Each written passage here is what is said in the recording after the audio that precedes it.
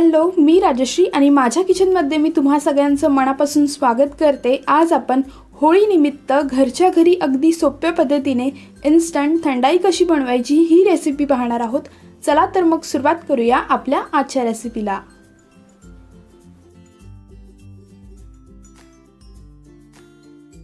Instant thandai बनवण्यासाठी या ठिकाणी मी बदाम पिस्ता आणि मनुक्यांचा वापर केलेला आहे आणि घेतलेल्या सगळ्या साहित्यांचे प्रमाण हे स्क्रीनवरती मेन्शन केलेलं आहे.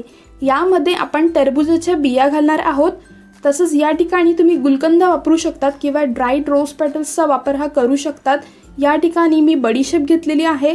तसंच या ठिकाणी माझ्याकडे दोन टीस्पून पॉपी सीड्स म्हणजेच खसखस आहे. जायफळ पूड दालचिनीची पूड चार वेलची.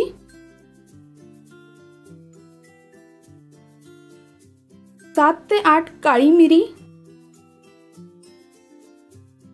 एक टीस्पून गुलाबजल घालून मिक्सरला लावून फिरवून घेऊयात.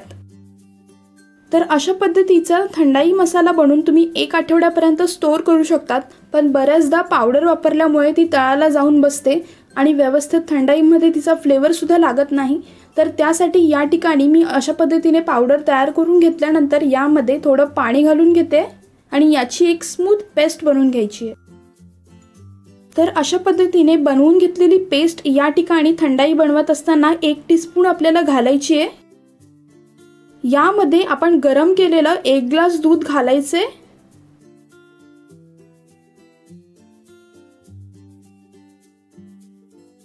या ठिकाणी मी दोन टीस्पून दुधामध्ये केसरचे धागे हे भिजत घातलेले होते. ते दूध आपण यामध्ये घातलेलं आहे. यामध्ये मी दोन टीस्पून साखरसुद्धा घातलेली आहे आणि ती क्लिप रेकॉर्ड झालेली नव्हती. तर घातलेलं हे सगळं साहित्य आपण व्यवस्थित मिक्स करून घेऊयात. तर अशा पद्धतीने अगदी सोप्या पद्धतीने घरच्या घरी इन्स्टंट थंडाई लगेचच तयार करा आणि कशी झाली हे मला कमेंट बॉक्समध्ये कळवायला विसरू नका.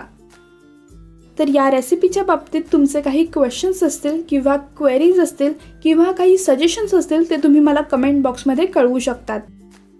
होळीच्या तुम्हा सगळ्यांना खूप खूप शुभेच्छा. ही रेसिपी तुम्हाला आवडली असेल तर तुमच्या मित्रमैत्रिणींसोबत तुमच्या फ्रेंड्स आणि फॅमिलीसोबत ही रेसिपी नक्की शेअर करा.